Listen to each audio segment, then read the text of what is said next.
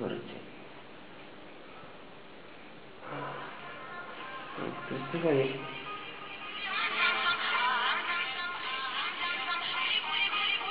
Żeglarz. Ciekawe co on chce. Dobra, odbiorę. Tak? Co?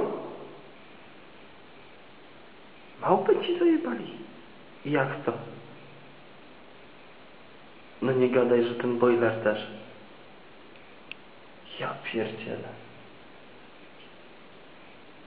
Dobra, jak ją zobaczę, to ci dam znać. No na razie trzymaj się. Kurwa, małpy kradną.